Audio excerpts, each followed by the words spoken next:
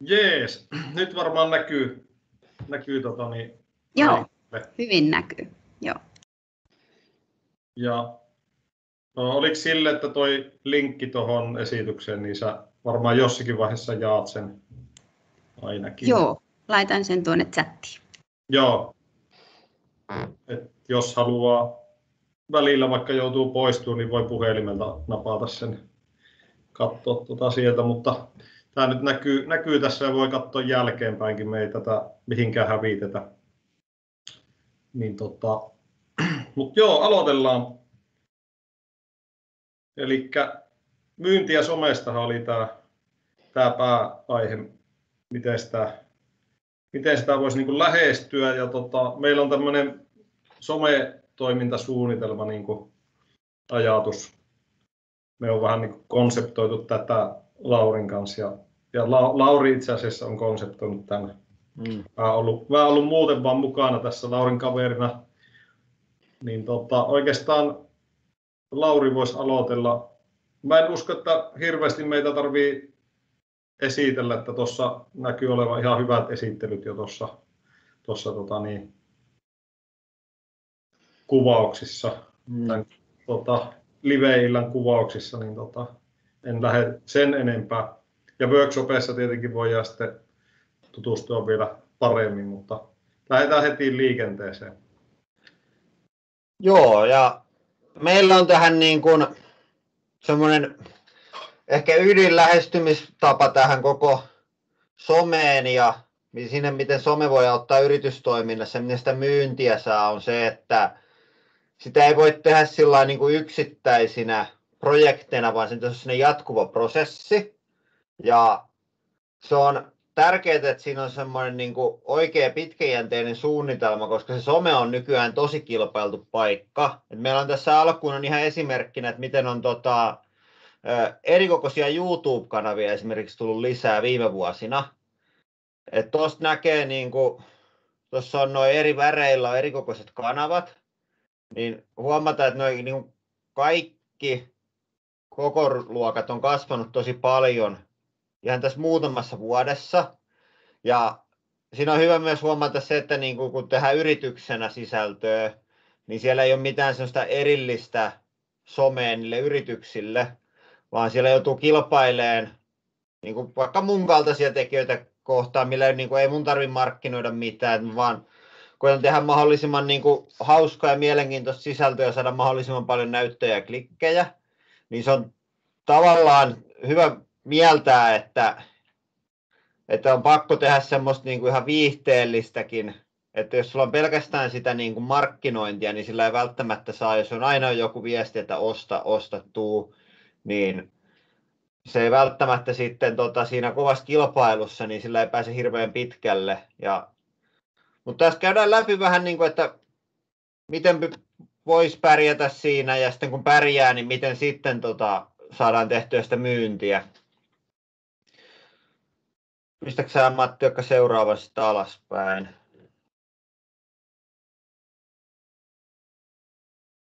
Ei kun niin jo, siinä ei ollutkaan muuta. Ei kun jää, nyt mentiin tänne. Yksi oikealle. Te ei Matti kuulu mitään, saat mutella. Ai, sori. Täällä samalla selitä, mutta tota, ihan nopeasti, jos vielä toi sisältö käy, niin meillä on tässä käytännössä niin kuin, uh, yhteensä, meillä on 14 eri tämmöistä niin pääotsikkoa, mitkä käydään läpi, ja nämä käydään sitten myös myös siellä workshopissa läpi niin kuin tarkemmin ja sitten siellä voidaan niin kuin sukeltaa vähän syvä, syvemmälle. Tässä on niin kuin hyvä, hyvä tässä niin kuin ekatunnin aikana katsoa, että mitkä on niin kuin mielenkiintoisia aiheita ja sitten kun tehdään workshopia, niin, niin siinä alussa me sitten kysytään, että, että tota, mikä niin kuin kiinnosti eniten, niin voidaan käydä niitä vähän, vähän syvällisemmin läpi. Mutta joo, tästä ei sen enempää, niin mä laitan Laurille tuon toisen slaidin. Joo, mutta sitten kuitenkin Matilla on tästä hyviä, voidaan tuolla myöhemmin, kun mennään enemmän siihen, että miten tehdään sit sitä myyntiä niillä hyvillä sometileillä, niin vaikka se on kilpailtu, niin se on kuitenkin edelleen niin kuin yksi tämän hetken niin kuin parhaista ja edullisimmista paikoista hankkia niitä asiakkaita ja tehdä myyntiä, jos on niin kuin tehty hyviä suunnitelmallisesti. Tästä ei kuitenkaan kannata tota, masentua, vaikka se näyttäisi vähän hankalalta alkuun. Siinä on melkein se, että minkä takia tämä itse suunnitelma on niin kuin tärkeä tehdä, ettei voi lähteä vaan pelkästään soheltaa ja suoraan hyökätä vaan siihen niin kuin myynnin tekemiseen.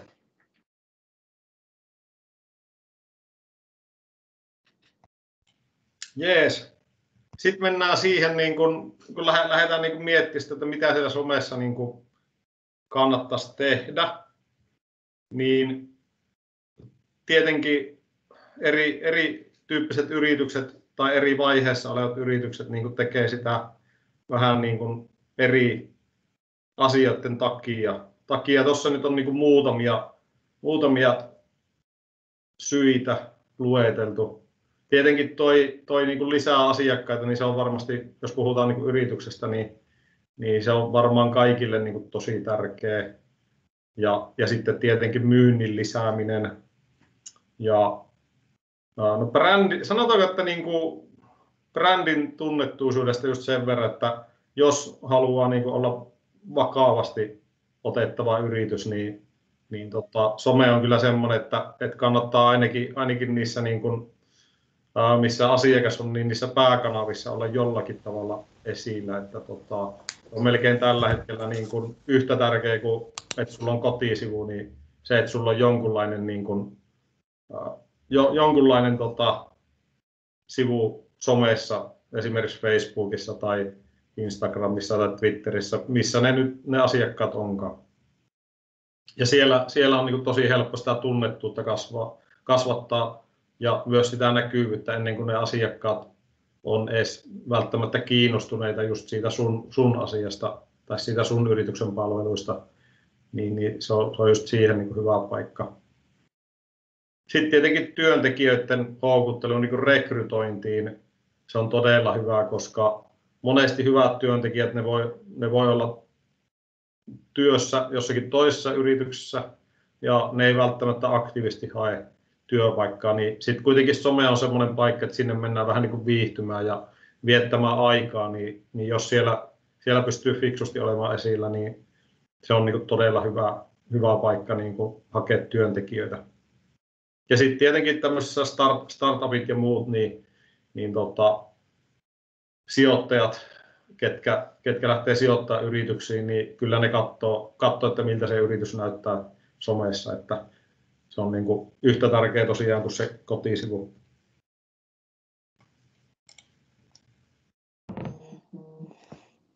Joo, toi on oikeastaan Laurin setti ja seuraava. Joo, sitten tota, tämän kertaa vähän, no nyt enää kerro. Joo, me mietittiin, että mistä tätä, niin kuin, mikä on semmoinen ensimmäinen asia, mitä kannattaa niin kuin lähteä kartoittamaan, kun suunnittelee sitä yrityksen somesuunnitelmaa, niin se on ehkä helpoin aloittaa sitten, että sä mietit, mitkä sulla on ne resurssit, millä sä pystyt tekemään somea. Ja siihen tarvitaan aina kahta asiaa, aikaa ja rahaa. Ja se voi valita sen suhteen, että käytätkö enemmän aikaa vai enemmän rahaa.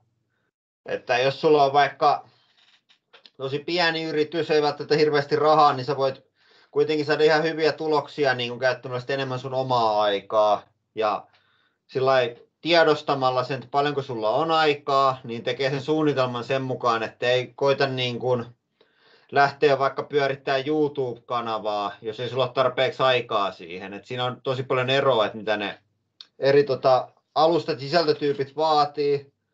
Käydään sitä myöhemmin läpi. Ja sitten toinen, mikä on tärkeä, no niin, joo, pistä vain seuraava. Että sitä ehkä hyvä sen määrittää alkuun, että paljonko pystyisi viikossa käyttämään siihen someen aikaa. Ihan tunteina miettii siinä, että kun on se kaikki muukin, mitä siinä yritykseen menee. Jos lähtee itse tekemään, että onko sulla tunti vai kaksi vai peräti neljä.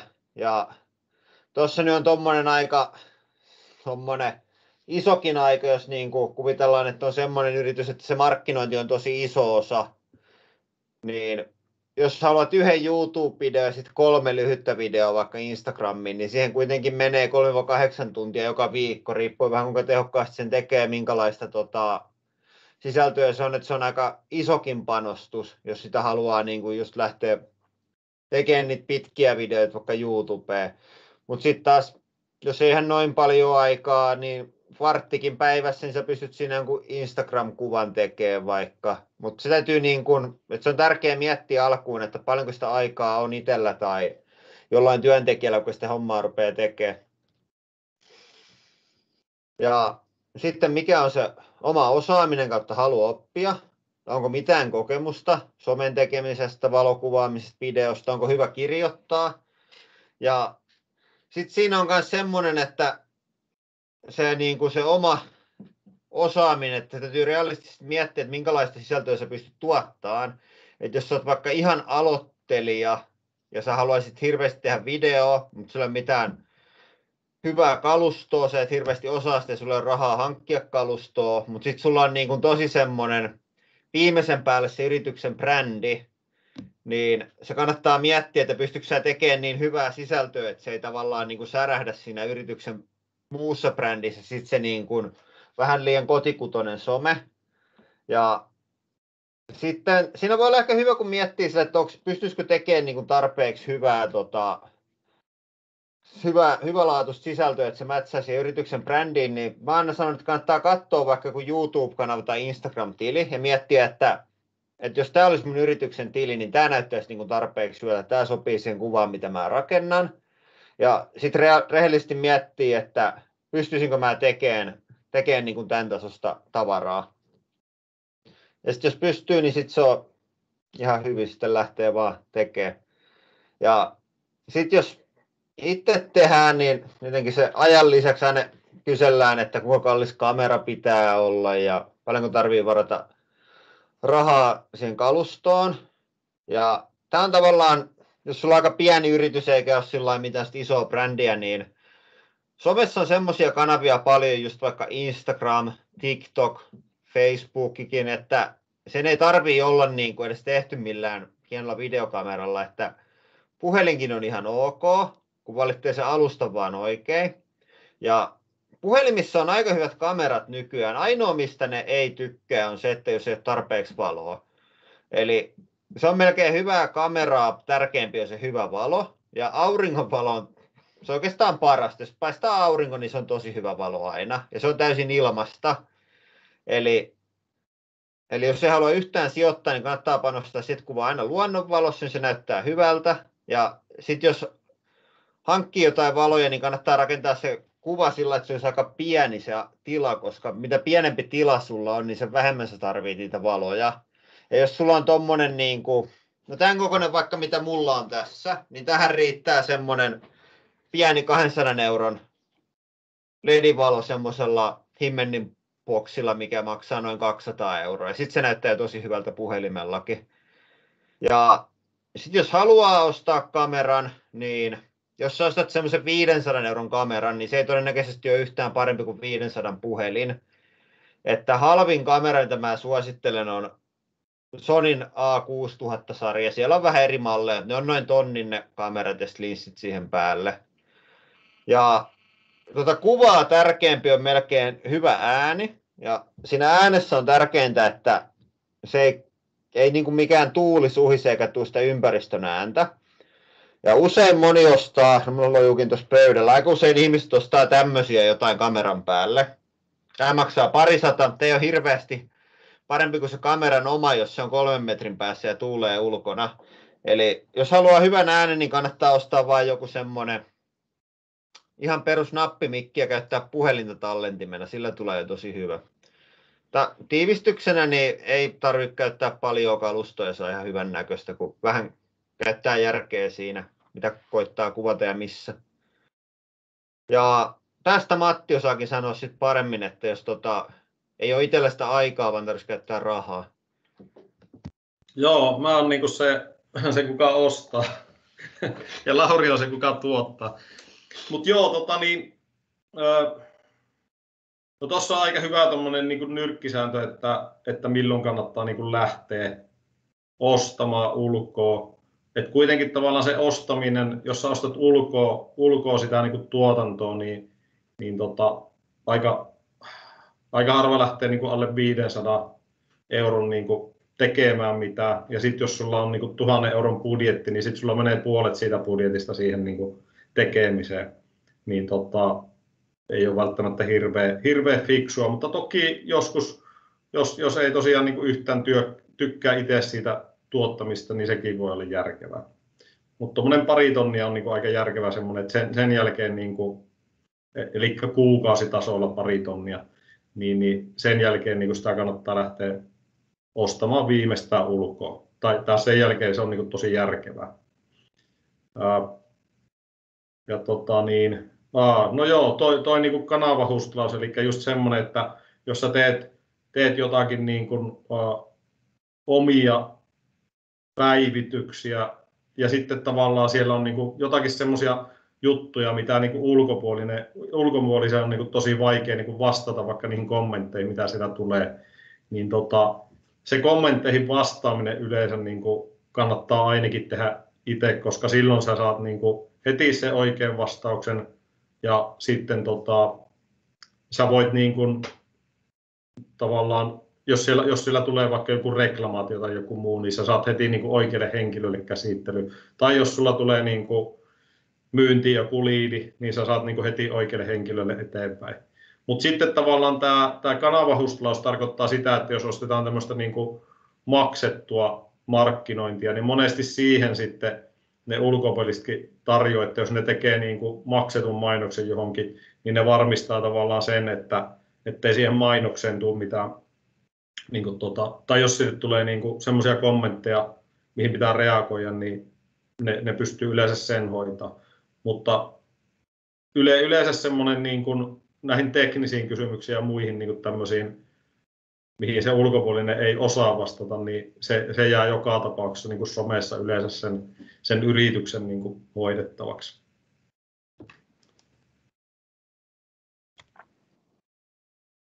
Jees, mä laitan tuosta seuraavan. Sitten on tota, tämmöinen, mistä me tämä oikeastaan lähti tämä koko sometoimintasuunnitelman tekeminen on. Tämä kun mä mietin, että mikä on niin kuin, tavallaan ne suunnitelma tai missä koko homman pitäisi lähteä se, minkä päälle sitä lähdetään rakentamaan sitä sisältöä, niin se on se yrityksen sisältölupaus. Eli se on se, mitä kiinnostavaa kautta hyödyllistä jaettavaa yrityksellä on. Ja tämä on sen niin kuin menestyksen kannalta, tämä on paljon tärkeämpi kuin se budjetti tai paljon kuin sulla on aikaa käytettävissä. Ja mä mietin itse, itse kun me tehdään somea, mitä tätä sen kannalta, että tämä on sama kuin se, jos sulla olisi liiketoimintasuunnitelma, niin tämä on se sun yrityksen kilpailuetu. Eli minkä takia ne asiakkaat päättää ostaa just sun tuotteita. Niin tämän pitäisi olla vähän samanlainen, että siellä somessa ne katsojat kautta seuraajat, että ne on niitä asiakkaita ja se sun sisältö on se tuote. Ja sulla pitää olla joku semmoinen niin kuin pointti, että minkä takia ne kuluttaa just sun sisältöä. Ja sama kuin yritystoiminnassa, se tietenkin parasta, että se sun sisältölupaus olisi semmoinen, että sulla olisi joku selkeä kilpailuetu, että, että, muilla, että muut ei tee sitä täsmälleen samaa sisältöä samasta aiheesta yhtä hyvin. Että se pitäisi olla joku semmoinen, mikä on vaan sulla ja se on niin kuin mielellään parempi kuin muilla, että sä erotut sieltä. Ja tämän, tämän miettimiseen kannattaa käyttää tosi paljon aikaa, koska jos sä teet tämän puolet paremmin, niin sä saat niin kuin monta kertaa paremmat tulokset. Että se ei sitten enää auta, vaikka se on kuinka hyvin kuvattu tai kuinka täydellisesti tuotettu, jos se on niin kuin tylsää ja semmoista, mitä ihmiset ei klikkaa auki. Ja sitten kun sitä lähtee miettimään, että no mikä se sitten on, että miten mä nyt tajun tästä jotain kiinnostavaa, niin noin on ihan hyviä semmoisia lähestymiskohteita, mitä voi rupeta miettimään noin eri TV-sarjat, ne on aika tuttuja ihmisille, että on niin kuin ihmisten työstä on TV-sarjat, vaikka poliisit tai pelastajat tai huutokauppakeisari tai joku tämmöinen, että olisiko tämä muun työ tai tämä yrityksen reaaliprosessi, että onko se semmoinen, että katsoisi TV-ohjelma, niin katsoisiko ihmiset tätä.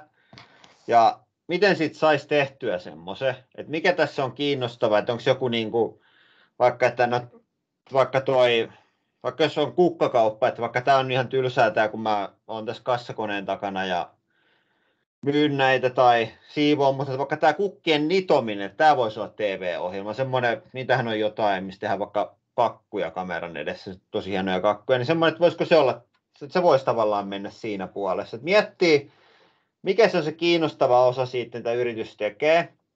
Et se on tavallaan, jos semmoinen löytyy, niin se on, se on tosi hyvä, koska sitä niin kuin tekee joka tapauksessa, ja sitä on aika paljon, ja sitten se on aika semmoinen tuotelähtöinen, että se on lähellä sitä, mitä koitetaan sitten myydä.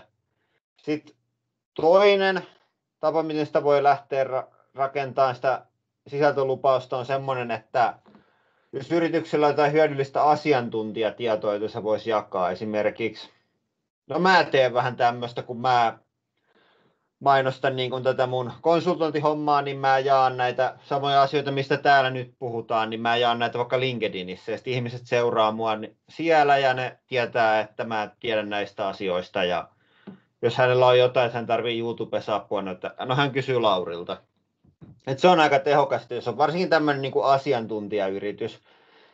Mutta se toimii myös, toimii myös muunlaisissa yrityksissä. Tuossa oli tullut kysymyksiä etukäteen, niin joku kysyi, että sillä oli joku hyvintä, hyvinvointialan yritys ja mietti, että miten saisi niin asiakkaat kiinnostua siitä. Niin esimerkiksi mun vaimo sanoi, että se seuraa jotain fysioterapeuttia, kuka jakaa semmoisia niin asiakaskokemuksia, että vaikka asiakkaalla oli pääkipeä ja sitten paljastui, että sillä on selkäjumissa jotenkin ja se parani siitä. Sillä niin sitten tulee sellainen mielikuva asiakkaalle, että jos hänellä on joku ongelma, niin tämä on asiantuntija näissä, että hän ottaa tänne yhteyttä. Ja sitten kanssa nykyään ihan niin kuin toimiva, toimiva vaihtoehto, jos joku on seurannut YouTubessa vaikka PT-vatasta, niin kuntosaliyrittäjä, ja sehän on enemmän niin kuin siitä itse yrittäjästä ja PT-vatasen elämästä kuin niistä kuntosaleista, mutta se on taas niin kiinnostava persoona, että se ihminen vetää ne katsojat seuraa sitä sisältöä ja sitten siinä samalla kaikille nyt niin kuin tulee mieleen, että hei hitto, että jos mä asun tässä kaupungissa, niin Vatasella on muuten sali täällä, että menpä sinne. Mutta minkä tahansa näistä valitteet tai ihan muun, niin sen on pakko olla tosi hyvä. Ja sitten sitä, sama vähän kuin yritysidean kanssa, sitä kannattaa kysellä vähän muilta, että onko tämä sun mielestä hyvä idea, kattoisiko tätä muut. Ja pyytäkää, että ne on sillä oikeasti rehellisiä, että jos se on niin kuin jonkun mielestä huono idea tai kuulostaa tylsältä, niin käskekää että sanoo myös oikeasti, koska jos tässä niin kuin oikeo, oikoja lähtee tekemään vähän huonolla sisältölupauksella, niin sitten se työ menee helposti vähän niin kuin hukkaan. Että tähän kannattaa käyttää ylivoimaisesti eniten aikaa kaikesta. Jees, mä just katsoin, että mulla on aika, aika hyvin aikataulussa. Meillä on vielä reilu puoli tuntia aikaa. Oliko muuten sille, että oliko varattu kysymyksille vielä niin kuin loppuun aikaa ennen workshopia? Joo, kyllä. Eli meillä on 17.35 saakka. Joo. 17.35 saakka on sitten aikaa, että rohkeasti voi chatissa esittää kysymyksiä, niin jos Joo, tuntuu, että jää hyvin aikaa, niin käydään niitä ehdottomasti läpi. Niina poimii tuolta niitä sitten matkalla. Joo, hyvä. Jees, eli tota, sitten kohderyhmistä, niin tota, ää, tietenkin tavallaan se, se on niinku ihan sama kuin liiketoiminnassakin, että sä mietit, että kenelle asiakkaalle sä niinku myyt, niin tässä on ihan sama juttu, että että sun kannattaa lähteä sitä kautta miettiä sitä, niitä somekanavan valintoja ja muita, että, että ensin miettiä, että kuka siellä on niin kuin kiinnostunut siitä yrityksen sisällöstä, että kuka se voisi olla ja missä, missä kanavassa se ehkä on, on ja tota niin, onko siellä joku, just joku tietyn tyyppinen asiakas, mikä olisi niin kuin hyvä tavoittaa sen yrityksen omien tavoitteiden kannalta. Ja sitten tietenkin ää, tota olla, niin kuin, La, Lauri varsinkin on niin kuin todella spesialisti tuossa niin isojen ihmisjoukkojen tavoittamisessa. Ja oikeastaan mekin on tehty nyt viimeiset vuodet vähän niin kuin sillä näkökulmalla, että tavallaan yritetään saada niin kuin mahdollisimman iso joukko kiinnostumaan ja sitten sieltä löytyy niin kuin ne omat asiakkaat. Niin yleensä, yleensä siitä ei ole niin kuin ikinä ainakaan haittaa, jos se lähtee niin kuin vähän isommalle porukalle leviämään se sisältö. Koska sitten jos siellä on sillä sisällössä sitä niin kuin kuitenkin, että siitä näkee, että mitä me tehdään, mitä se yritys tekee, niin sitten sit tavallaan siinä vaiheessa, kun se asia on ajankohtainen, niin, niin sitten yleensä palataan sitten siihen yritykseen, mikä tunnetaan jo. Ja sitten tässä on myös hyvä miettiä se, että kun olet luonut tuon sisältölupauksen, niin se on tärkeää miettiä erikseen, että kun oot löytänyt sen kiinnostavan aiheen, vaikka, vaikka se kukka-asetelmien teko, niin, ja mietit, että ketä se kiinnostaa, niin sitten on tärkeää, että se, ketä se sisältö kiinnostaa, että se on edes jonkin verran päällekkäin sen kanssa, kenet sun täytyy tavoittaa. Että esimerkiksi toi nyt olisi hyvä se, jos sisältö on sitä kukkien asettelua, niin se todennäköisesti myös kiinnostaa niitä, ketkä ostaa niitä kukkia. Mutta joskus se saattaa mennä ihan kokonaan ristiin, että se kiinnostava asia ei olekaan yhtään kiinnostava niille yrityksen asiakkaille, että sekin kannattaa tässä kohtaa tarkistaa, että ne on niin kuin vähän samat. Kyllä. Onko sitten, sitten joo, sitten tuleekin ää, oikeiden somealustojen valinta, ja tämä on vuosi vuodelta hankalampaa. Nykyään ei niin kuin, edes me ei voida olla joka alustalla, että sun on niin kuin pakko valita, että millä alustalla sä oot. Ja vähän sama, mitä äsken puhuin, että pitää olla niin kuin, että, siellä, että sä alusta tavoittaisi ne sun tavoitteet ensinnäkin, että jos sulla on vaikka, että halutaan tavoittaa että vaikka tämän ikäiset ihmiset ja sitten pitää pystyä suoraan niin kuin myymään niille jotain, vaikka verkkokaupan tuotteita, niin sitten se alustan pitää olla semmoinen, että se niin kuin sopii sen tavoitteisiin.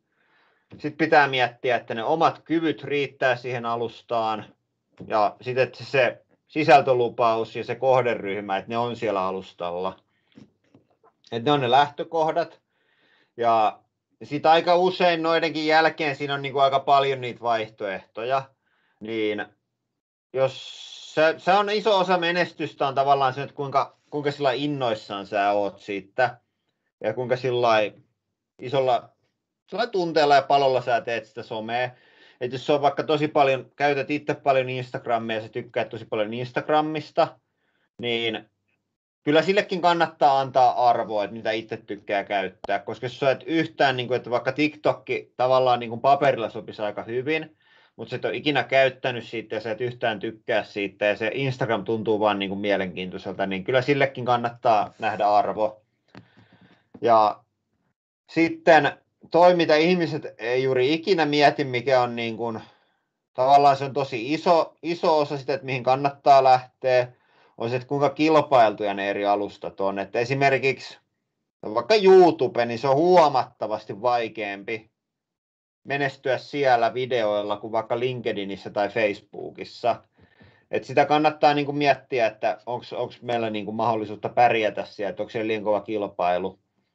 Ja sitten toi viimeinen, että resursseja tuottaa tarpeeksi hyvää sisältöä, niin sillä ehkä viittaan siihen, että kuinka niin kuin hyvältä sen pitäisi näyttää. Esimerkiksi YouTubessa ihmiset alkaa nykyään olettaa, että sen pitäisi näyttää melkein TVltä. Niin sitten jos idean kuvata sillä kännykällä vaan jotain no, joka yksinkertaisia videoita, niin ehkä sitten se YouTube voi olla vähän hankala, hankala valinta. Mutta mulla on tämmöinen hieno ka- kaavio, Matti voi pistää sen näkyviin. Ja tässä on tämmöinen, mä en muista mihin mä tein, tässä on vähän tämmöinen sisäpiirivitsi, että tämä on 6 kautta 5 tämä arvos, arvosteluasteikko, eli sen takia tuossa on noita kuusi puita. Mä en nyt ehkä käy tässä joka alustaa läpi, mä kerron mitä nämä eri sarakkeet tarkoittaa, niin sitten voitte vaikka jälkikäteen miettiä, että mikä, mikä alusta saattaisi sopia itselle. Eli yhteisöllisyys tarkoittaa sitä, että kuinka tärkeää siellä on niin kuin vastailla ja reagoida niihin kommentteihin, mitä yrityksiltä tulee. Ei yrityksiltä, kuin katsojilta. Ja sitten videon kesto, eli jos tehdään videoita, niin kuinka pitkiä niiden videoiden pitäisi olla. Toki näihin moneen voi laittaa myös valokuvia ja tekstiä, vaikka linkkariin voi laittaa vain tekstiäkin ja Instagramiin, Facebookiin voi pistää kuvia, mutta jos tekee videoa, niin tuossa se kesto. Sitten tuotanto, sillä tarkoitetaan sitten niin tuotantoarvoa, että esimerkiksi YouTube pitäisi melkein näyttää TVltä nykyään, niin se on 5-6 puuta, mutta sitten taas vaikka TikTok ei tarvi olla niin kovin kummosta, että hyvin tehty kännykkävideo riittää hyvin. Ja sitten kilpailu, eli tämä on se kuinka vaikea, jos sä nyt aloitat, että kuinka vaikea sun on siellä niin kasvattaa sitä tiliä. Esimerkiksi, no tämä on hyvä esimerkki, me lanseerattiin uusi tota, suomenkielinen tämmöinen somebrändi, tämmöinen kuin uutuustuote, testaillaan kaikkia elintarvikkeita, niin vaikka meilläkin on tosi hyvä tiimi, niin meillä saa YouTube-videot kuukauden jälkeen kuin 300 näyttöä, ja sitten TikTokissa ne on saanut koko ajan kymmeniä tuhansia näyttöjä, ihan sama kontentti. Et siitä saa hyvän kuvan, mikä on se vaihtelu siinä. Ja sitten viimeinen sarake on, että minkä ikäistä väkeä siellä suurin osa käyttäjistä on. Tietenkin toi vaan se niin kuin suurin osa, onhan siellä nyt niin kuin vanhempia nuorempiakin, mutta sillä niin kuin karkea idea on toi.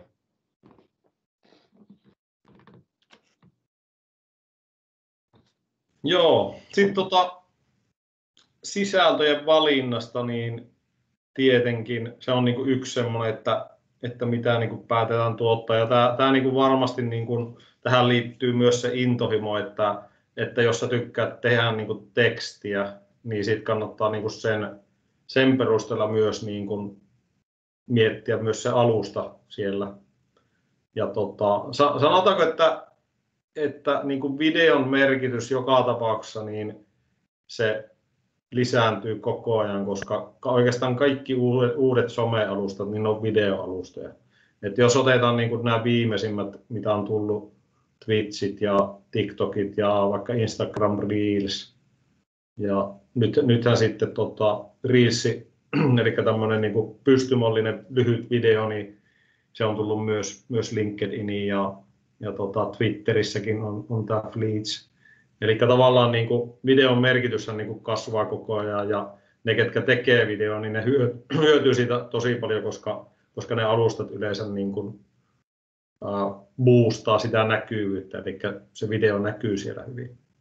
Mutta samalla tavalla myös teksti, teksti on niin tärkeää ja jotkut tykkää, mä, mä monesti kysyn niin linkkarissakin, että, että tota, tai jos mä puhun videosta, niin moni sanoo, että, että mä en tykkää yhtään katsoa videoita, että mä luen vain tekstiä. Että sitäkin tarvitaan. Sitten ääni, ääni on tietenkin yksi, mikä on niin kuin, sanotaanko tämmöinen uusin, uusin juttu, ja mikä kasvaa tosi nopeasti, eli podcastit kasvaa tosi nopeasti. Sitten on nämä, nämä tota, clubhouseit ynnä muut, mitkä on tämmöisiä niin kuin live-ääni alustoja.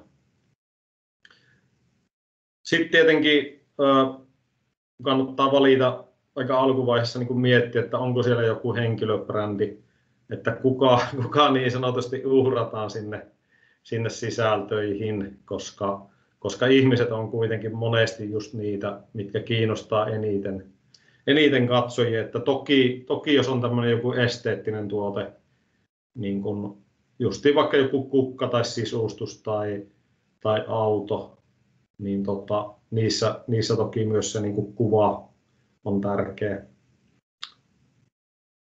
Ja sitten tietenkin se, että kun tehdään niitä sisältöjä, niin sitä voi jo vaikka tuolla workshopissakin käydä läpi tarkemmin.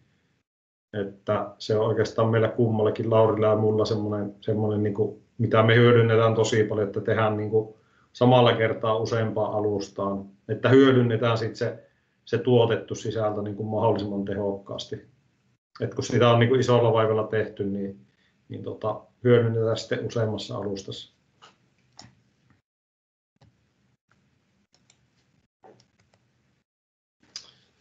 Joo, si- sitten tota, tässä oli niin aiheena oli myyntiä somesta, niin jos joku on tullut sen takia nimenomaan, että miten sitä myyntiä sieltä saadaan, niin tässä on oikeastaan semmoinen niin yleisesti käytetty malli siihen, että mitenkä, mitenkä se ostopolku niin rakennetaan sille asiakkaalle. Tämä on itse asiassa Suomen digimarkkinoinnin aineistosta heidän luvalla napattu, napattu kuva, eli tämä race, race-malli on tavallaan se, mitä niin kuin yleisesti käytetään, mutta tässä on vielä tämmöinen M laitettu lisäksi, eli niin kuin mittaaminen. Mutta jos mä niin kuin ihan nopeasti tavallaan käyn tämän mallin läpi, niin tämä on oikeastaan semmoinen, että jos tämän ymmärtää, että mitä tämä tarkoittaa, niin sen jälkeen on tosi helppo niin kuin miettiä sitä, että minkälaista sisältöä mä teen ja minkä takia mä teen niin kuin minkäkin tyyppistä sisältöä.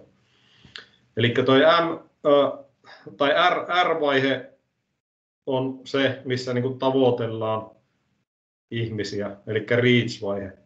Ja tota, me käydään vielä läpi tuossa pari otteeseenkin itse asiassa, että mitä, minkälaista sisältöä sinne kannattaisi tuottaa. Mutta tämä on niin se vaihe, milloin, milloin ihmiset tavallaan, ne, ne siellä somessa on viihtymässä ja sitten ne sattumalta törmää teidän yritykseen.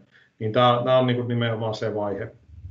Sitten ACT-vaihe on se, että, että ihmiset on jo kiinnostunut siitä yrityksestä ja sä pääset tavallaan niin kuin kertomaan niille, että miten tämä sun palvelu, mitä hyötyä se asiakas saa sun palvelusta esimerkiksi, tai mitä, mitkä ne sun tuotteet, niin se on tota, act-vaihetta. Ja siinä, on, siinä vaiheessa, kun se on jo vähän kiinnostunut, niin sit sun on niin kuin helppo opettaa vaikka sitä, että mitä, mihin kannattaa kiinnittää huomiota silloin, kun sä ostat sen tuotteen. Ja sitten convert on tietenkin se vaihe, että sä saat jollakin keinolla sen potentiaalisen asiakkaan pyytämään sen tarjouksen tai tekemään sen oston. Ja nämä on niin selkeästi kolme semmoista eri vaihetta, mihin tehdään niin erityyppistä sisältöä.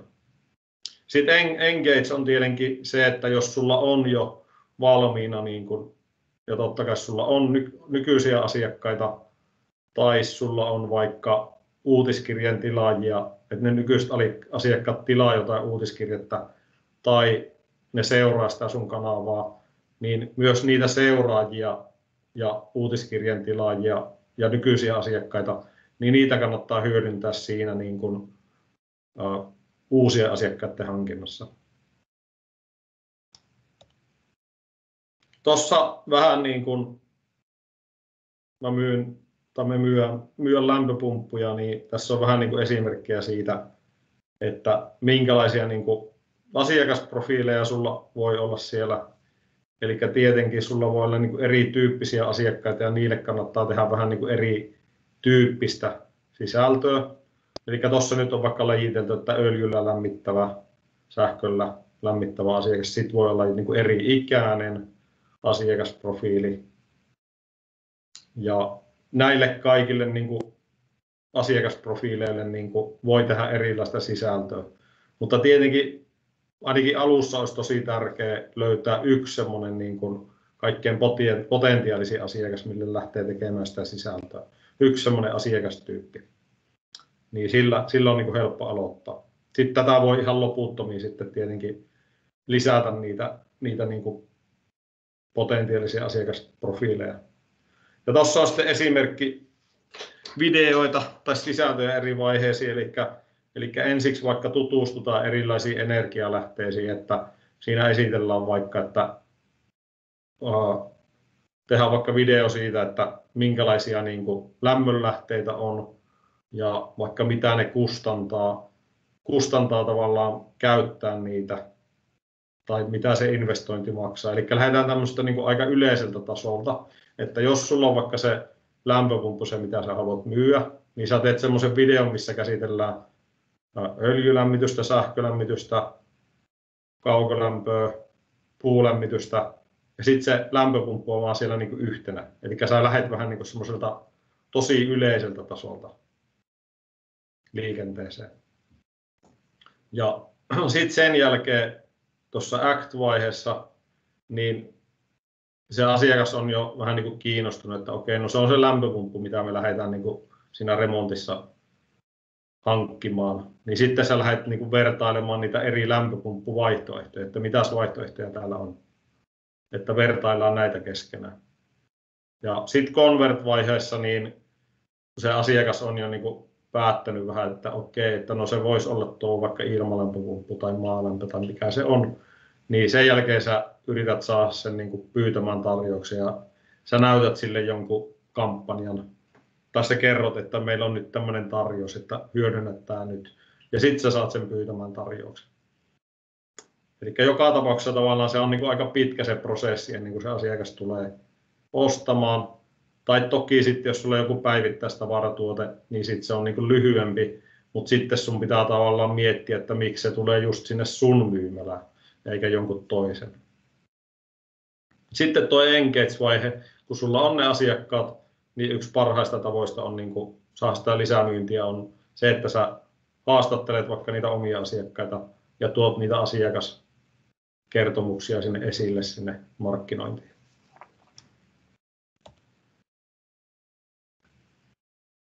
Ja sitten sit mennään siihen alkuvaiheeseen, kun lähdetään, lähdetään tekemään sitä näkyvyyttä. Lauri voisi ottaa. Joo, ja tuosta vielä mielenkiintoinen tuosta äskeisestä.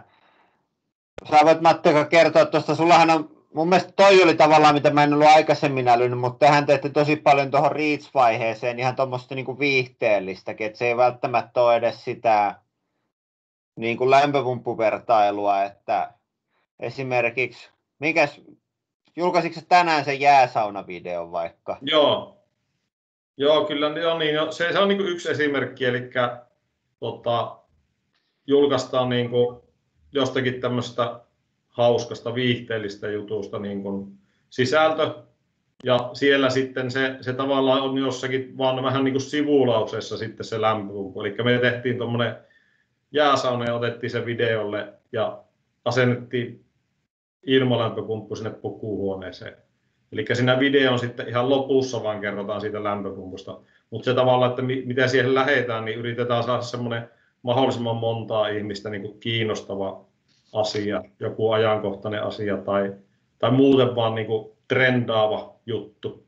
Siihenkin mennään vielä, vielä tuossa myöhemmin, että minkälaisia sisältöjä ne voi olla semmoiset niin kuin, kiinnostavat sisällöt, tai miten niitä voi niin kuin, joten, jostakin päättele, päättelemällä tavalla hakea, että mikä voisi kiinnostaa ihmisiä. Mutta joo, toi on hyvä pointti, että se ei tarvi, se voi olla tavallaan jotakin muutakin kuin se sun tuote. Että, mutta kyllä mä niin siitä kuitenkin lähden tavallaan se tuote pitää jossakin sivulaussa olla mainittu. Ettei se mene ihan niin kuin, tavallaan niin täysin niin kuin pelkkää viihdettä. Joo, ja sitten tämäkin varmaan kiinnostaa monta, jos ei vielä olla siellä somessa tai ei olla oltu kovin aktiiviset, ei ole, niin kuin, ei ole niitä seuraajia vielä oikeastaan ollenkaan. Ja vaikka meillä olisi kuinka hyvä se sisältölupaus, niin se tarvii aina kuitenkin pienen tuuppauksen. Esimerkiksi toi meidän suuri YouTube-kanava, niin meillä oli viiden kuukauden jälkeen siellä varmaan ehkä 50 tilaajaa. Ja sitten joku jako meidän joku video Redditissä, ja me saatiinkin päivässä 100 000 tilaajaa sen jälkeen. Eli se, se on, se, vaikka se on kuinka hyvä se sisältölupaus, se on kuinka hyvä se sisältö, niin se yleensä tarvii aina jonkun sen pikkujutun, että ne ihmiset löytää. Ja se on joko, että just jaat sen jossain foorumilla tai joku jakaa sen jossain Redditissä tai Facebook-ryhmässä tai tai sitten tota, koitat saada vaikka jonkun paikallisen vaikuttajan, että teet sen kanssa vaikka jonkun yhteistyön. Tuo vaikka, no esimerkkinä jälleen vaikka se kukkien, kukkien nidonta, että jos olisi vaikka joku YouTube-kanava, mikä tekee vaikka jotain sisustusjuttua, niin pyydät siltä YouTube-kanavan pitäjältä, että hei, voitaisiko tehdä tänne yhteistyövideo, että tulisit kokeilemaan mun kanssa tätä kukkien nidontaa, se on joku, joku vaikuttaja, mikä on tosi lähellä sitä sun yritystä, että pyydät sen niin kuin vieraaksi, että teette yhdessä, ja sitten se vaikuttajalle postaa sen yhdessä tehdyn videon niin kuin omaan kanavaan, se sitten sanoo, että tämä vaikka Marin kukkapuoti, että ne rupeaa tekemään näitä kukkien nidontavideoita, että jos tämmöinen kiinnostaa, niin tilakkaa se tosta. Niin sitten sieltä ää, niin kuin sitä yrityksen sisältöä lähellä olevan vaikuttajan seuraajista saattaa saada just tota hyvän, sen verran mitä sä siihen alkuun tarvitset seuraajia, että se sitten lähtee kasvamaan sit orgaanisesti sen jälkeen. Mutta se on tosi tärkeää saada mahdollisimman pian sinne edes joku, sanotaan sata ihmistä, koska jos siellä on ihan vaan niin kuin muutamia ihmisiä, niin sä et saa siitä oikein mitään palautetta siitä sisällöstä, että onko se nyt hyvää vai huonoa, ihmis siellä ei ole kommentteja tarpeeksi, ja sitten sieltä tota noin, niin, se alustan analytiikka ei saa siitä oikein mitään dataa, että se alusta ei oikein tiedä, onko se nyt hyvää sisältöä, pitäisikö sen suositella sitä ihmisille, ja sitten jos ne toinen video saa neljä näyttöä ja toinen seitsemän, sitten yksi saa 12, se on vähän vaikea päätellä siitä, että oliko se nyt hyvä video vai sattuuko nyt sun äiti katsoa se viisi kertaa tämän videon peräkkäin tai joku tämmöinen juttu. Et senkin takia, että sä pystyt niinku kehittämään sitä, niin sä tarvit sinne tota, jonkun verran väkeä. Ja sitten toi ei ole mitenkään huono vaihtoehto, että sä ostat ihan vaan niitä näyttöjä sieltä niin kuin alustan omalla työkalulla. Esimerkiksi me ollaan käytetty tätä, kun lanseerataan uusi YouTube-kanava, niin sä voit ostaa sieltä sillä, että YouTube suosittelee sitä sun video ihmisille. Ja sitten tuossa oli tuo vaikuttaja yhteistyö, minkä mä mainitsinkin. Ja tässä on tosi tärkeää semmoinen, jos ruvetaan tekemään sitä vaikuttajayhteistyötä tai ostaa niitä näyttöjä, että se on mahdollisimman hyvin kohdennettua, koska jos me houkutellaan sinne alustalle semmoisia ihmisiä, mitä se sisältö ei kiinnosta, niin ne ei katso sitä niin kuin juuri ollenkaan, ne ei klikkaa sitä, ja sitten se alustan algoritmi luulee, että se sisältö on tosi huonoa, koska sitä suositellaan väärille ihmisille. Eli se on tosi tärkeää, että se on, ihmiset, mitä sinne koitetaan saada, on semmoisia, että ne on myös aidosti kiinnostuneita siitä. Ja sitten sä tiedät, että sulla on tarpeeksi liikennettä sitten, kun se alkaa niin kuin pikkuhiljaa kasvaa se kanava, että sä et niin kuin et kuvitellaan, että sä oot saanut, että sulla on vaikka sata ihmistä siellä keskimäärin katsoa jonkun jutun, ja sitten sä huomaat, että seuraavalla viikolla se on 120 ja sitten se on 140, sillä että se niin lähtee edes hitaasti kasvaa, niin sitten sä tiedät, että nyt riittää se vaan, että sä teet sitä hyvää omaa juttua siellä. Ja voit keskittyä enemmän siihen. Ja sitten tämä on, ei mennä tähän nyt ehkä, tämä on aika iso aihe, mutta tämä on hyvä mieltää aina, että someen tekemiseen riittyy aina niin kuin riskejä, että perinteinen kaikille tuttu somekohu, eli joku vaikka yksi lausahdus irrotetaan kontekstista ja sitten tota, ihmiset suuttuu ja sitten tulee huonoa julkisuutta yritykselle. Tai sitten, että kuvataan vaikka jotain V-logivideoa ja sinne vahingossa lipsahtaa jotain yrityssalaisuuksia. Se on myös aina, kun tehdään tällä yritykset tekee, niin se on hyvä pitää mielessä, että ei jaeta mitään, mitä ei haluttaisi jakaa. Mutta tähän kannattaa, niin kuin, kannattaa miettiä, mitä riskejä siihen sisältyy. Ja sitten yksi, mikä on tärkeä, on ihan työturvallisuusjuttu, että mietitään, että jos tulee vaikka joku somekiusauskeissi ja sitten siellä on se yrityksen työntekijä niin kuin sen kiusauksen uhri, niin se on tavallaan niin kuin se yritys on siitä vastuussa, että, ne, että näin ei kävisi ja siinä on joku suunnitelma. Tätä, tätä kannattaa kyllä miettiä. Sulla on Matti Mutella. Yes. Eli tota,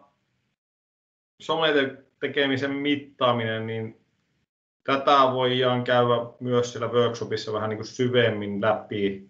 Mutta tuossa nyt on muutamia semmoisia yleisimpiä niin kuin mittareita, että totta kai niin kuin ne näytöt ja, ja kommentit, jaot, tykkäykset, ne on niitä perusjuttuja.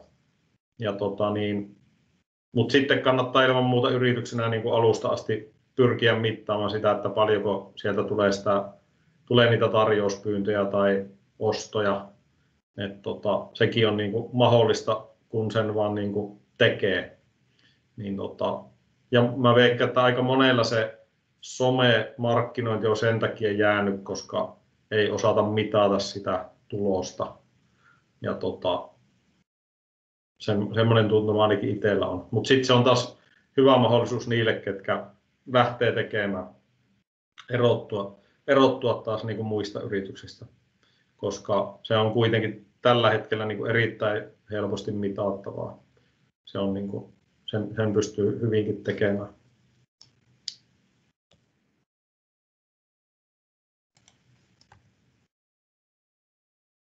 No joo, jatkuva kehittäminen, niin tätä ei varmaan tässä vaiheessa hirveästi sen enempää käydä läpi, mutta, mutta totta kai niin kuin ihan samalla tavalla kuin kaikessa muussakin, niin sitä kannattaa kehittää ja sitten kannattaa vähän niin kuin miettiä, että mikä, mikä on se aika, että miten kauan sä niin kuin testaat, miten nopeasti sun pitäisi saada se toimimaan. Näitäkin voidaan tuolla workshopissa käydä niin kuin läpi.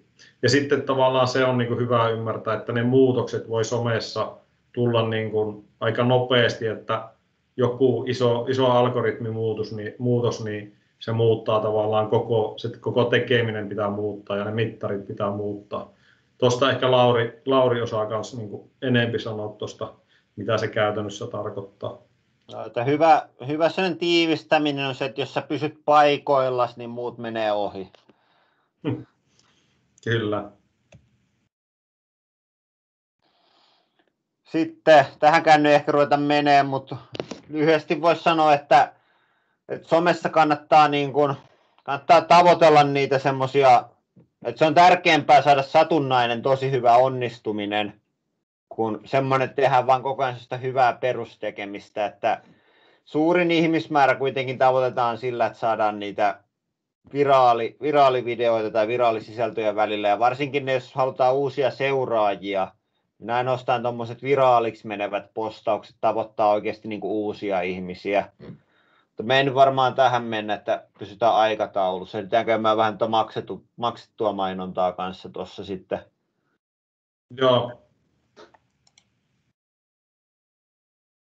Joo, ja tämä on myös semmoinen, mitä, mitä niin kuin varmasti, ö, kun just mietitään sitä, että mihin siellä kannattaa niin kuin satsata siellä somessa, mihin asioihin ja lähdetään mahdollisesti ostamaan sitä mainontaa, niin tämä on niinku semmoinen juttu, eli orgaaninen tarkoittaa sitä niin kuin ilmasta sisältöä, eli sä et laita rahaa ollenkaan siihen näkyvyyteen, niin se, siihen semmoinen tasapaino, niin siihen, siihen on kyllä hyviä niin kuin keinoja. Ja tavallaan ää, jos nyt tässä vaiheessa sanoisi, niin olisi tosi tärkeää opetella tekemään sitä näkyvyyttä ilman sitä maksettua mainontaa sen takia, koska, koska jos sä opit tekemään niin kuin hyviä sisältöjä ja ne leviää ilman sitä rahaa, niin sitten myös se rahan käyttö on kustannustehokkaampaa.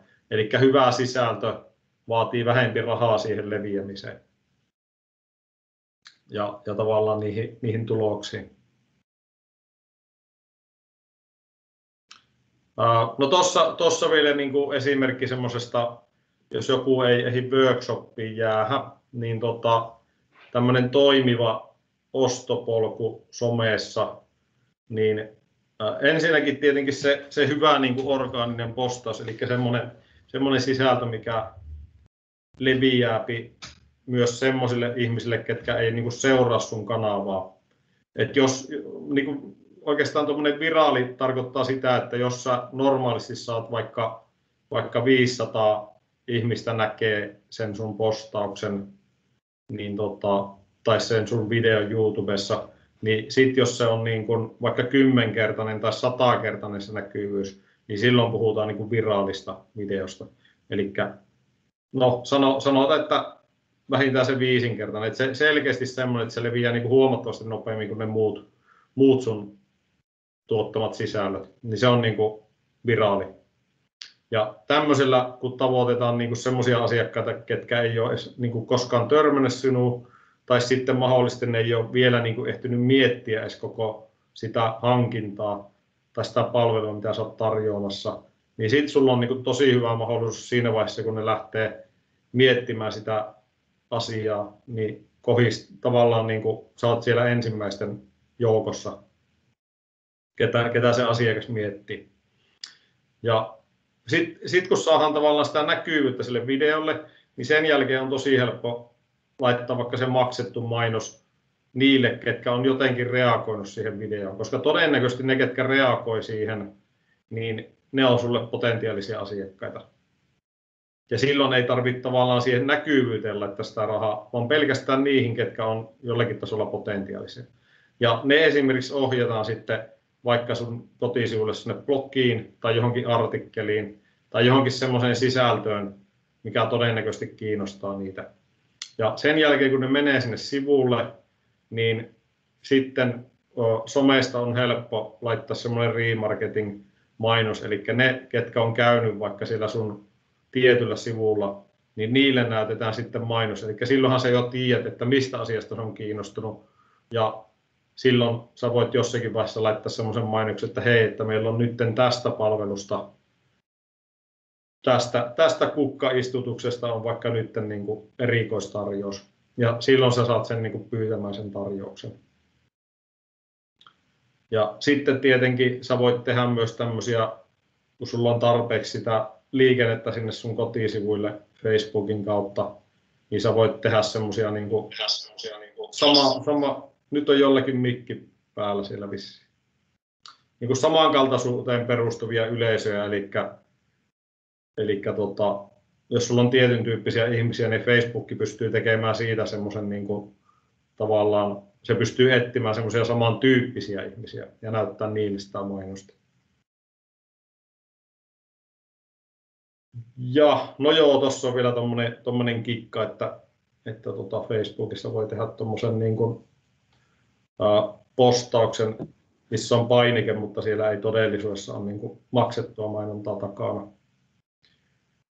Mutta joo, tämmöisiä, tämmöisiä kikkoja kyllä löytyy sitten, kun lähdetään tekemään näitä enempi. Jees. Mutta tuossa meidän, meidän esitys tälle, tälle illalle. Ja tota, tuossa on tosiaan tuosta sometoimintasuunnitelmasta meillä, niin me tehtiin tämmöinen teille ihan erikoistarjous, eli minus 30 prossaa tuosta sometoimintasuunnitelman verkkokurssista. Ja se löytyy tuosta digitrainer.fi osoitteesta. Eli se on tämmöinen ihan muutaman, muutaman se verkkokurssi, ja siellä on myös, myös sen tuloksena, siinä on käyty silleen läpi, että sen tuloksena syntyy sitten semmoinen suunnitelma, somatoimintasuunnitelma sille verkko, verkkokurssin tehneelle, jolla on sitten helppo lähteä niin kuin miettimään sitä, että miten me, miten me tehdään tätä somea. Ja sitten tietenkin me tehdään tämmöisiä räätälöityjä workshoppeja yritykselle, että jos joku kokee, että se verkkokurssi on niin kuin liian, liian vähän, vähän ja haluaa vähän niin kuin meidän näkemystä siihen enempi, niin, niin, niin tämmöisiäkin järjestyy. Rohkeasti vaan sitten yhteyttä meihin. Joo, nyt voi, jos on jotain kysymyksiä, tuonne tullutkin jotain etukäteen. Tuosta mä puhuinkin jo vähän tuosta tota, hyvinvointiyrittäjästä, että seurasi vaan muut yrittäjät, niin Toi oli ihan mielenkiintoinen vaimo sanoi, että seuraa jotain fysioterapeuttia, joka jakaa sellaisia niin kuin, niitä asiakaskokemuksia, että asiakkailla on ollut joku, että asiakkailla on joku ongelma ja se on ratkaistu jotenkin, että se on samaistuttavia. Että tavallaan jos se on vain semmoista enemmän sitä asiantuntijuutta, niin ehkä se ei sitten kiinnosta niitä asiakkaita niin paljon kuin se sen konkreettisempi sisältö. Sitten muita täällä oli etukäteen kysyttyjä. Siellä oli ainakin sellainen, että kumpi edistää paremmin tuotemyyntiä, hyvä maksettu mainos vai hyvä vaikuttaja?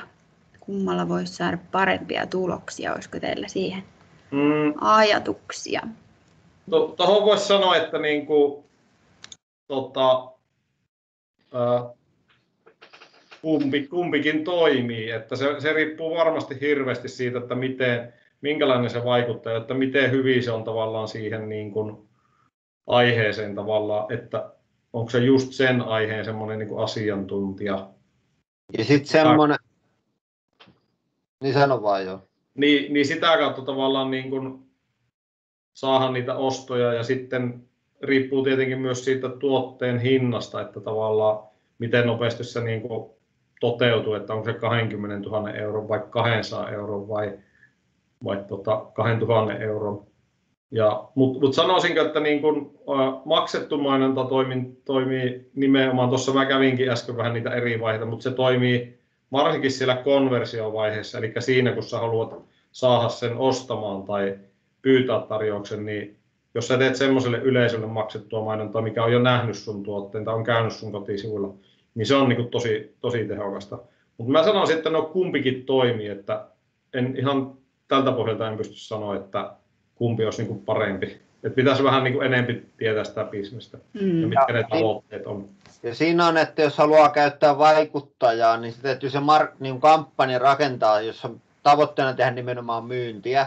Aika usein se vaikuttajayhteistyö menee vähän semmoiseksi vaan brändityöksi helposti, jos ei siinä ole selvää fokusta ja tavoitetta, että jos halutaan myyntiä, niin siinä pitää selkeästi olla joku semmoinen, että se vaikuttaja sanoo monta kertaa siinä vaikka videolla on sinne call to action, että me ostaan täältä tää tähän hintaan. Että esimerkiksi me tehdään tosi paljon, mulla on monta asiakasta, ne ottaa joka toinen kuukausi, ottanut monta vuotta semmoisen, että suoraan myydään jotain tämmöistä digitaalista palvelua, että se on aina se, että nyt täältä me ostaan tähän hintaan, niin kyllä se selvästi on tehokkaampaa, tehokkaista, koska näin sitä ostaa, mutta se pitää olla rakennettu siihen tavoitteeseen sopivaksi. Kyllä. Joo. Sitten oli vielä yksi, oli tällainen, kun sanoitte, että tuo videon merkitys kasvaa nyt joka kanavassa ja, ja tota, se on tosi tärkeää ja sillä varmaan tavoitetaan ja se puhuttelee montaa, niin onko parempi olla niin kuin aktiivinen ja ruveta vaan niin kuin tekemään sitä vai heti niin kuin pyrkiä jollekin tietylle tasolle, että voiko aloittaa niin kuin matalalla kynnyksellä ja sitten pyrkiä sitä laatua parantamaan vai, vai pitäisikö olla heti niin kuin pro? Ei, ei tietenkään. Kyllähän niin kuin, äh, toi, toi mun mielestä Rinkisen Kaitsu sanoi hyvin, siltä, sillä oli, siltä oli pyydetty niin kuin puheenvuoro siihen, että miten, miten tavallaan niin kuin sitä näkyvyyttä saadaan, niin sillä oli niin kuin kolme, kolme tota, niin kuin vinkkiä siihen, eli, eli tota, niin kuin, tee video ja tee video ja tee video. Eli tavallaan niin kuin, ei se niin kuin, tekemisen kautta myös opitaan tosi paljon. Että sitä ei kannata pelätä, että, että se olisi se ensimmäinen video jotenkin, tai se ensimmäinen sisältö huono, koska todennäköisesti aika harva edes näkee sen ensimmäisen. Mm. kannattaa se... valita joku tommonen, jossa jännittää haluaa aloittaa helposti, niin aloittaa vaikka TikTokissa, missä ei tarvi olla niin hyvälaatuisia, voi olla lyhyempiä videoita, niin sit niitä on helpompi tehdä. Et jos sä teet puoli viikkoa tai YouTube-videoita, sitä tulee tosi huonoja, kukaan ei katso sitä, niin se on vähän isompi menetys kuin se, että sä käytät vartin TikTok-videon tekemiseen. Niin, Joo, totta. Chatin puolelta huikkii chattiin ja tosiaan on kysymyksiä tullut, mutta oikeastaan vähän samaan teemaan, mistä äsken nyt keskustelittekin, niin mä tiedän, että meillä on tosi paljon yrittäjiä, kuten varmasti ympäri Suomen muuallakin, jotka miettii sitä, että mä haluaisin olla tosi aktiivinen somessa ja mä haluaisin olla sellainen yrityksen edustaja, tuli säännöllisesti tosi hienoa, mielenkiintoisia videoita, mutta kun hirveästi jännittää pelottaa, tämä mokaa. Että äsken vähän sanoittekin, että kun vaan teet, teet ja teet, niin se riittää, mutta sanokaa kolme sellaista hyvää tärppiä, niin kuin, että minkälainen video pitää olla, että se on ihan ok, josta on hyvä lähteä käyntiin, hyvin konkreettiset asiat. No mä, mä voin aloittaa, niin ainakin se, että yleensä tota, se, että sä laitat sen oman naaman peliin, niin se yleensä vaan toimii. Että ihmisiä kiinnostaa niin katsoa ihmisiä. Mm. Joo, toi on totta. Ja sitten toinen on, että sun pitää mieltää, että sä et tee sitä video itselle, vaan sä teet sen katsojille. Että täytyy olla semmoinen, niin kuin, en mä tiedä, ankara siinä editointipöydällä, että ei jätä semmoista niin kuin, semmoista tylsää sinne. Että oikeastaan kaikki somealustat nykyään, että se olisi mahdollisimman kiinnostavaa, että koittaa pitää sen jutun mieluummin lyhyempänä kuin liian pitkänä. Niin ja jos, jos tota, niin video on kuitenkin silleen helppo, helppo media, että tota, jos, jos sä et saa ekaa kerralla niin tarpeeksi tiivistä sun mielestä, niin vedä niin toiseen kertaan se. Että niin kuin kokeneetkin tubettajat tekee sitä niin kuin että ne ottaa niinku uusiksi sen monta kertaa. Mm. Et, tota, ja sit chatissa näköjään joku kysyy, että onko, onko siinä pakko olla pärstä siinä videolla, niin ei ole, mutta se sitten täytyy niin kuin, vaan pitää huoli, että se sitten on niin kuin tarpeeksi mielenkiintoista. Että esimerkiksi nyt vaikka se, mitä mä sanoin, se kukkien, kukka-asetelman tekominen, niin ei siinä, esimerkiksi se varmaan toimisi ilman, että siinä on pärstää siinä, mutta sitten siinä on se, että on se tehokkaampaa aina, jos siinä on naama, koska silloin se on niin kuin, että ne kiintyy enemmän siihen sun brändiin ja palaa helpommin. Et muuten se on vähän semmoinen, että sä oot vaan niin kuin, että siinä ei tule sidettä niin kuin sun ja katsojien välillä, että ne ei sillä tavalla välttämättä yhdistä sitä sisältöä niin paljon siihen suhun ja sun yritykseen.